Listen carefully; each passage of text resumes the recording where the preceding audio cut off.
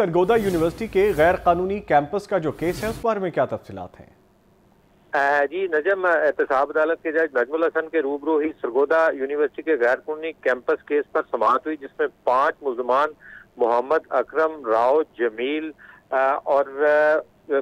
चौधरी अकरम वगैरह को अदालत के रूबरू पेश किया गया। अदालत ने इन मुलजमान को पंद्रह रोजा जुडिशियल रिमांड पर जेल भिजवा दिया है और इनको दोबारा सत्रह जनवरी को दोबारा पेश करने का हुक्म दिया है। इस